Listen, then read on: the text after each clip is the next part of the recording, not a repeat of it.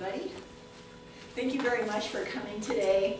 Is the um, screen okay, or do you want the blackout curtains closed, or is that easy enough to see? Maybe we should turn off a couple of lights. But can you still see your potato chips? You don't want to accidentally eat a cucumber when you're trying to eat a potato chip. That would be the worst. Thank you very much for coming today. We are going to be giving you an introductory talk to Level 7 DCI, Touching the Diamond World. The ideas and information in this level are really going deeper into the ideas about the pen, and that's why we ask people to come who had come before, so that it's not all brand new concepts for you. It's going to be easier for you guys to understand where we're going with this. This information is kind of rare, a little bit hard to find, and you don't hear about it just every day. So how did we get to be here in this room? For me, there's a set of circumstances that happened. Adam met Katie. Kelly met Morgan. I met Janice. And Janice invited me to go hear a talk in Arizona and things kind of steamrolled from there. So there's a set of circumstances that, that happened. Where do those things come from? How did we get the seeds to be able to hear ideas about where things come from, the deeper explanation of where things come from? When we were children, maybe you remember this or maybe you've had children, there's a phase, I think when kids are about three or four, where they start asking why. Why? Okay, eat your cheese sandwich. Why? because that cheese sandwich is going to make you strong and grow. Why? Well, the, the calories inside the cheese and the bread will feed your body and your body will get stronger. Why? She says. And then at some point the parent says, just because. Because the, the child drills down, drills down, drills down to a place where there is really no explanation that I can give you, or I just want you to be quiet. So I say just because, or stop asking why. But some people aren't satisfied with that, and they keep asking why. Why are things the way they are? And that wondering plants seeds for us to get more information and to be able to be in places where people are looking for the answers of why things are the way they are. So we're special, you guys are really special that you're interested, and you could have been doing something else today. You could have been playing Frisbee. Uh, well, it's not as nice a day as it could be, but it is springtime, the blossoms are out, you know, it's nice to be outside. So you could be playing Frisbee, you could be um, having a fancy lunch at a restaurant, or you could be uh, doing what I often do, which is working at my desk and eating at the same time. That's not optimum. So thanks for taking the time out of your busy day.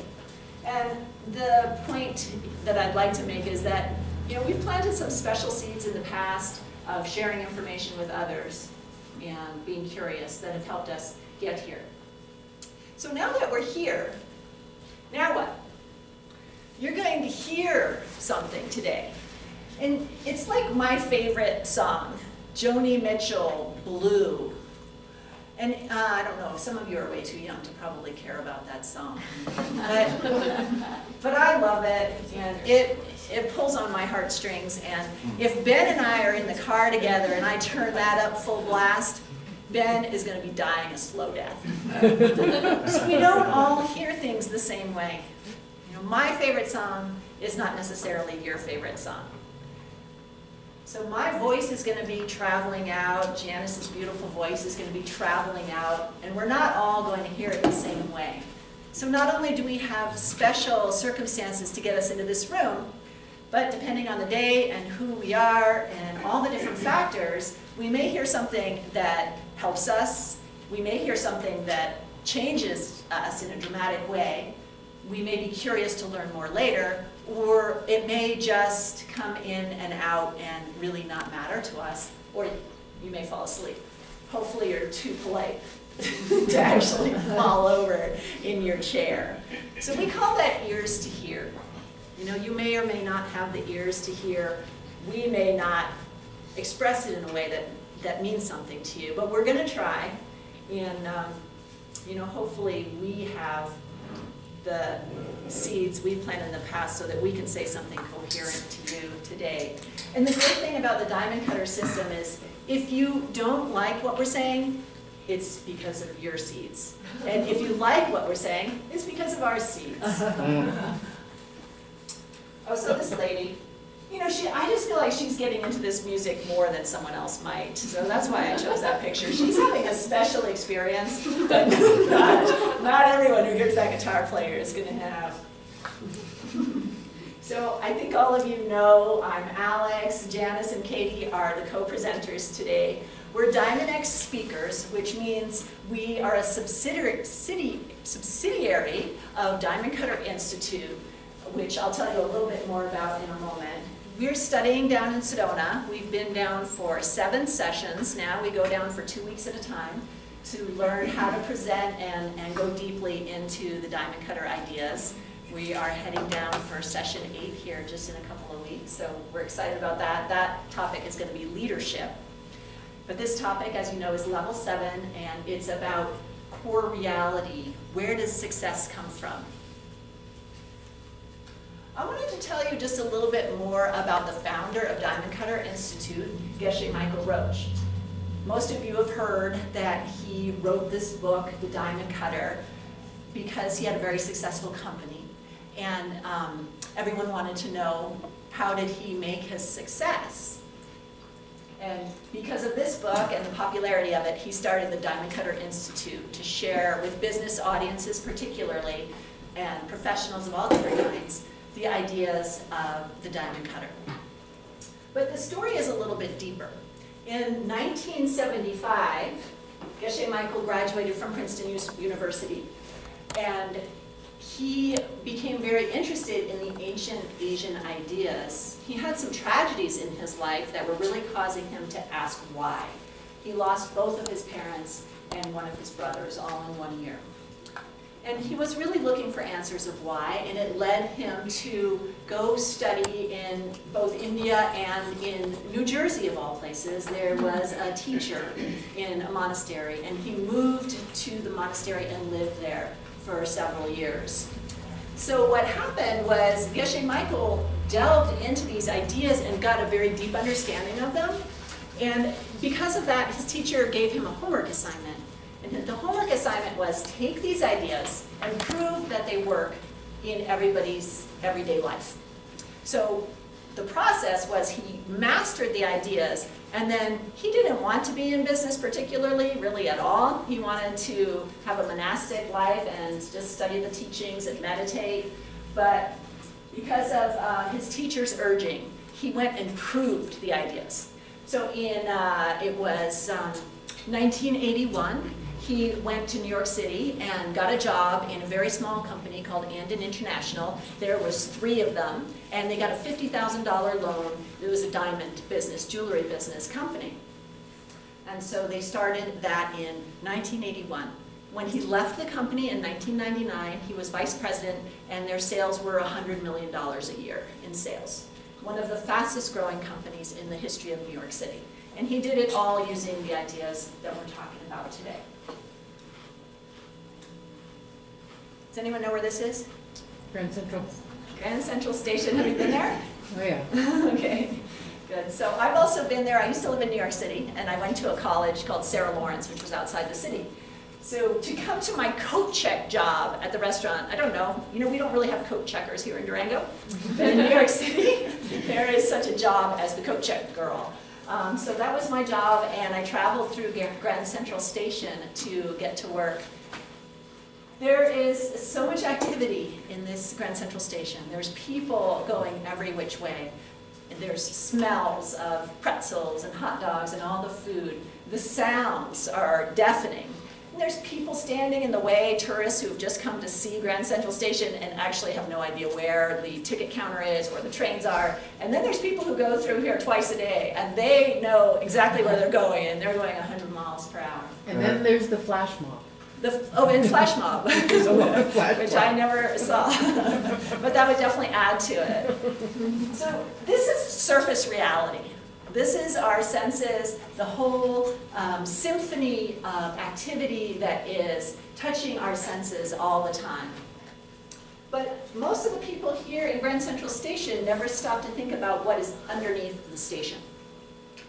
So under the station in Manhattan, there is granite and marble, very solid rock. And that's why they can build really tall skyscrapers there, because this foundation is so strong.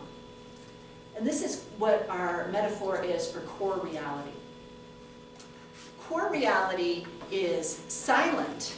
It's, it's, you know, you're not hearing it when you're in Grand Central Station, and it's invisible. You're not seeing it. It's also unchanging. Rock does change over time. I know scientists are going to be like, wait a second. But in this metaphor, compared to the busyness of Grand Central Station, the bedrock underneath is very solid and unchanging. Okay, so we're going to refer back to this metaphor um, today a few times. The surface reality is what's going on in our daily lives, everything that we're seeing, the phone ringing, and we're being pulled in a lot of different directions. People are needing help from us, and we are also trying to meet our needs. And this keeps us on the move. But what holds that up? I mean, those of us who are wondering why, what is the source? What is the source of success? We have this feeling that there's something more, that there's a, a hidden reality. And that's what we're going to delve in today, exploring this hidden reality. Silent, unchanging reality. So that's all I'm going to say about that right now, and I think Katie is going to give us a little review on some things that you may have heard before, but she's going to give it to us in a special way.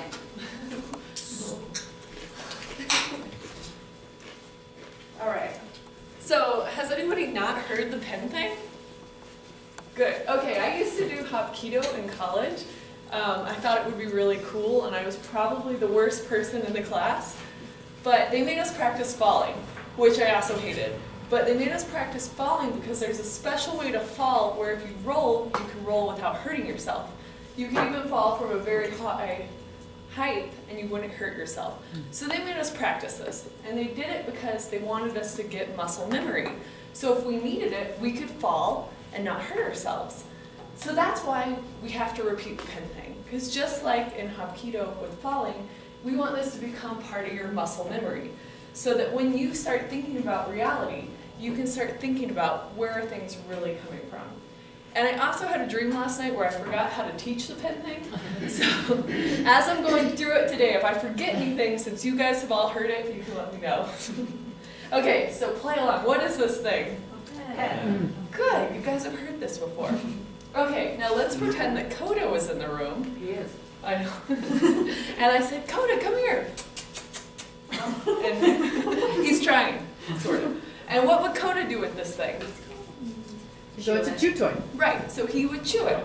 So now the dog sees a pen, or dog sees a chew toy, and the human sees a pen. Who's right?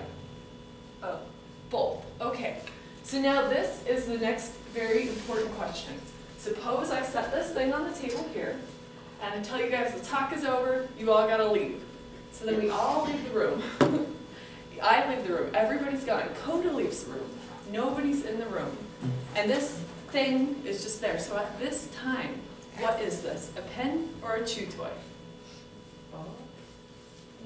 And Morgan has like the right answer. Morgan's kind of going like this. And that's the right answer because you know this thing at that time, it's available, it's potential. You could even say it's empty or it's nothing. And that's all that we mean by the very ancient idea of emptiness that we talk about in the ancient books. It's actually kind of simple, but as you delve into it, it gets a little more hard to understand. But, okay, so now since I walked back in the room, because I am constantly leaving things lately, you know, I have a lot to keep track of, so I walk back in the room, I'm looking for my sunglasses or my things, and my eye catches sight of this thing. So then it becomes a pen. So since it only becomes a pen when I walk back in the room and catch sight of it, or if Coda walks back in the room and catches sight of it, it becomes a chew toy. Can we really say that the penness is coming from the pen, or is the penness coming from me? Coming from you. Right, you guys have all done this before. Show me with your hand. Muscle memory. Okay, so the pen is coming from me. So if the pen is coming from me, does that mean it could become anything I want? Like a big diamond?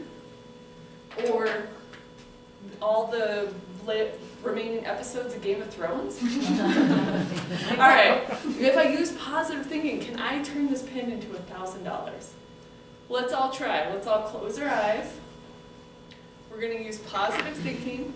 We're gonna think really hard, and we're gonna try and turn this into a big pile of one hundred dollar bills. Okay, ready? Wish, wish, wish, wish, wish, wish, wish, wish, wish, wish. Nope, still a pen. So though the pen is coming from me, it's not coming from me because I want it to. Something else is going on there. So what's going on is I have a seed in my mind for a pen.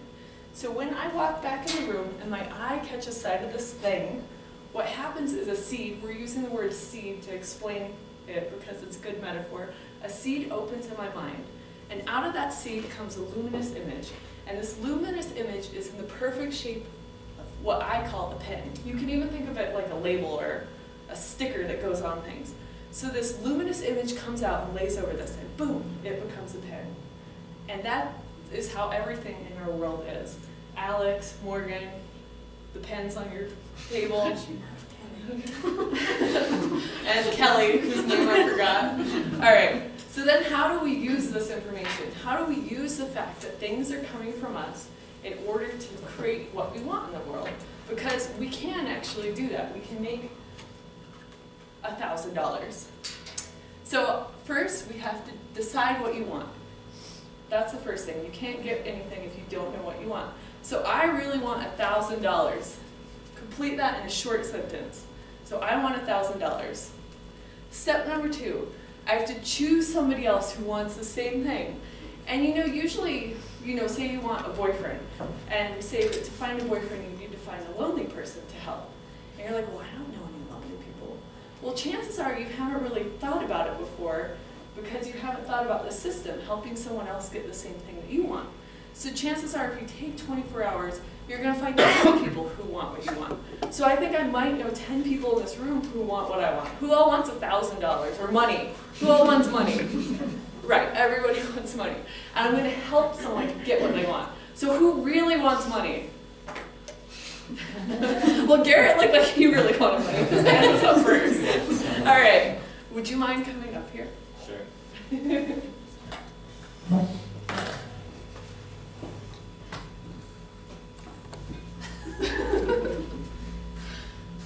right, so we're gonna stand in the middle here. All right, so do you want money? Yes. Okay, so I just confirmed he wants what I want. All right, so now I actually have to do something. I have to help Garrett get what he wants in order to plant a seed for what I want. All right, so if you would hold up your hand, please. Hold it up high. All right. So now we're going to plant a seed, and you're going to see how easy it is. We can all go out and do it right after this talk. Okay, ready? We're going to plant a seed. Ready? One, two. Oh, see, this is real money. I didn't just print it with Photoshop. Okay, ready? This is a better investment than the stock market. Ready? One, two, three. I just planted a seed. All right, you can keep it. Take it with you All right. All right, so we just planted a real life seed, and I encourage you to use that as homework and go try it. So now, sometimes you've seen it in real life. Um, you can plant a seed, but it doesn't necessarily grow. I, for instance, always try to plant tomatoes every spring, and they never grow. so you, I just now learned you actually have to water them. Just kidding, I knew that. But um, so it's the same thing with mental seeds. You actually have to water them, and you do that doing a special meditation, and we call it coffee meditation, which has a cool story why it's called that. And I keep promising you guys I'll tell you, but I'll tell you later. So for coffee meditation, it's not like the normal one where you sit cross-legged with your back straight. This one, it's more like this, or on your pillow. I tend to do it on my stomach with my face in my pillow. And all you're gonna do is you're gonna think about the good thing that you did.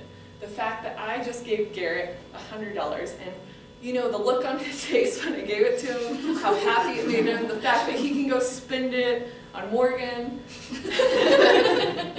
or in something he wants. Plant more seeds.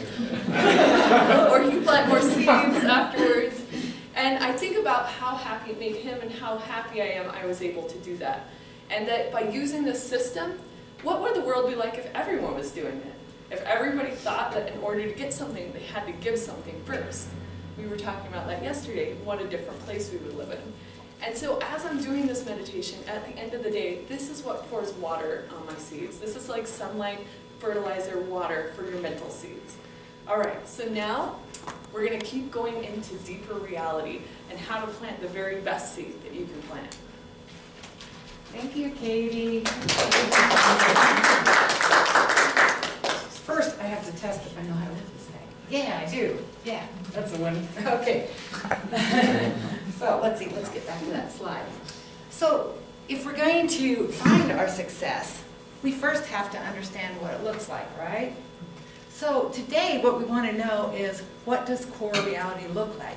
Because when we understand the source of our success, we can indirectly or directly, we can then use this knowledge to reach all of our goals. Remember, we had, we learned about five goals? You know, first of all, we want to have money. Secondly, we want to have good relationships. Third, we want to have great health so we can enjoy those relationships. And four, what's the point of all that if we don't have inner peace? And five, then once we get all those things, we really understand that we want to help other people.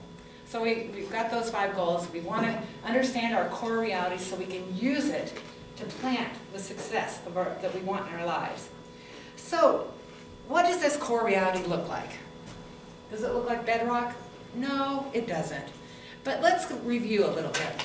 Katie just taught us about the pen. And we understood when she was telling us that the pen is not coming this way.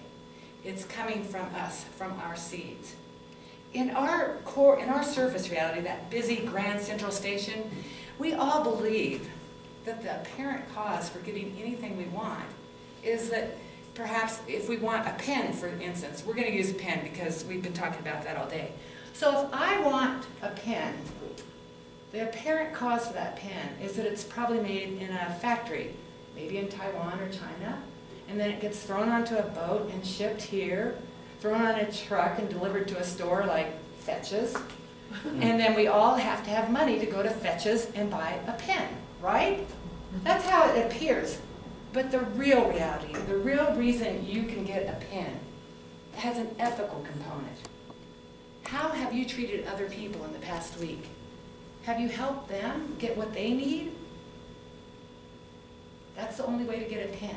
We have to get, we have to plant the seeds to see a pen by helping others get what they want. Have we shared pens? Have we shared, you know, communication skills? If we have, then when I walk into the room, I'm going to see a pen instead of a chew toy because I've created the seeds for myself to see a pen. And that gets us back to when um, Katie left the room, Coda left the room, and she left this thing here. It's empty of being self-existent. It doesn't come from its own side. Otherwise, when Coda walked up here and saw that pen, Coda wouldn't chew on that pen. Coda would write a letter to his doggy girlfriend, right? So the pen, does Coda have a doggy girlfriend? No, the pen is coming from us. So let me ask you this. If the pen is coming from us, what about the food or the lights or the screen or the person sitting next to you? They're coming from us too.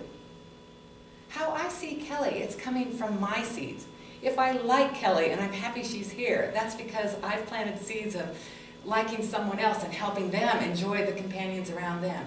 Everything in our reality is coming from us. And when we understand that everything in our reality is coming from us, that gives us power. What does it give us power to do?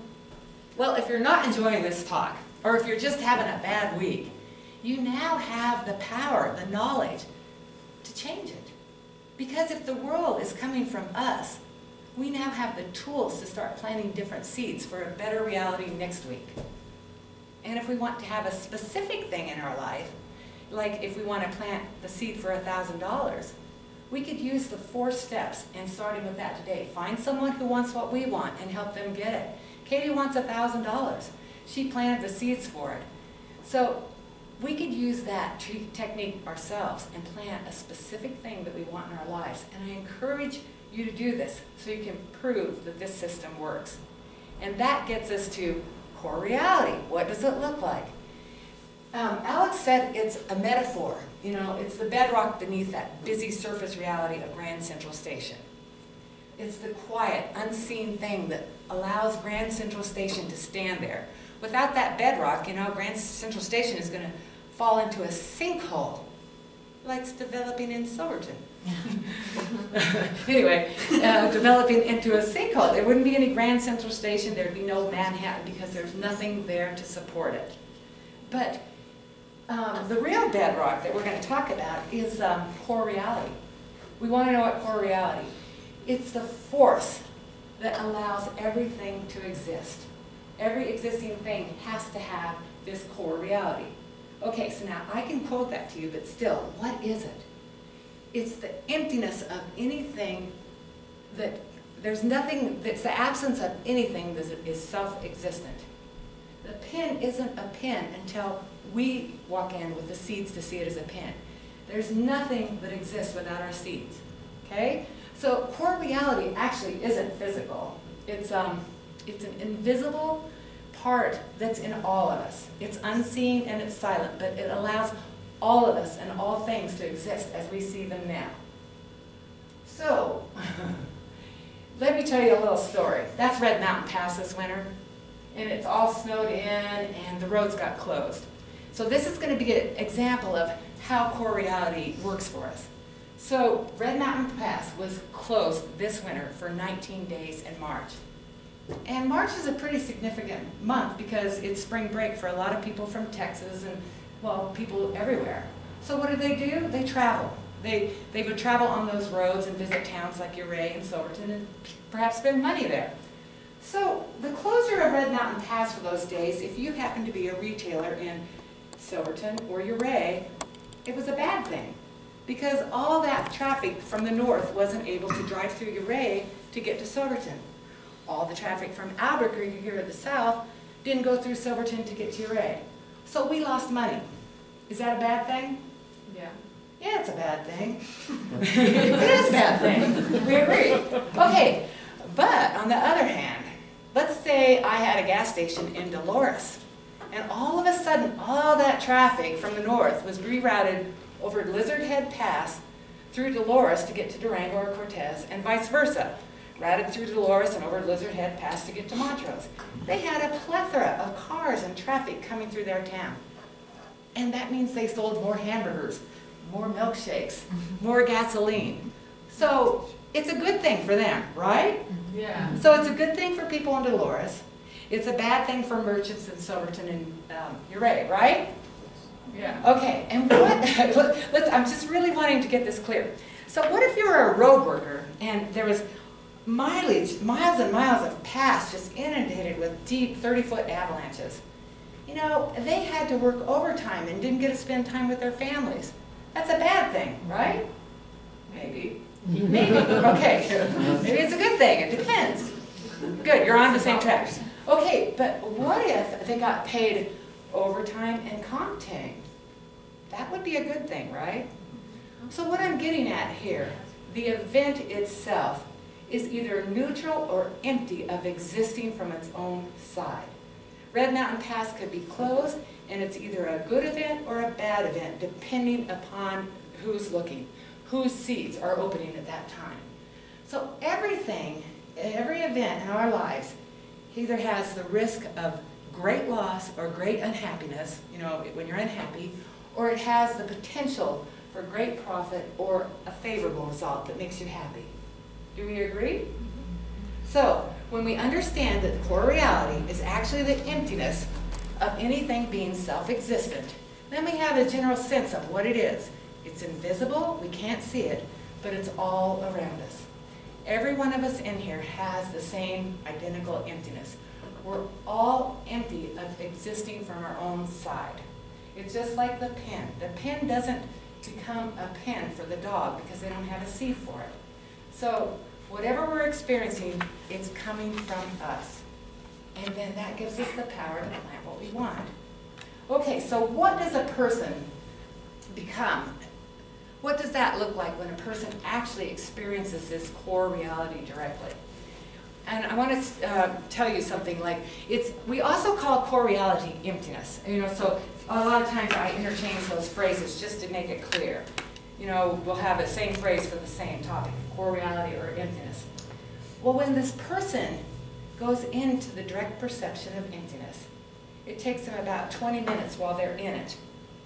But the person that they enter as is so different from the person they become after they've had this experience.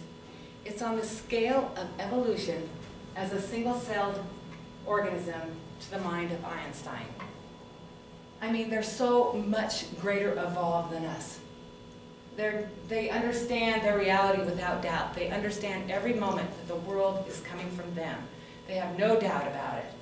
And they become the innovators, the innovators that we've heard of through history, throughout history and throughout all cultures, and it crosses all religions.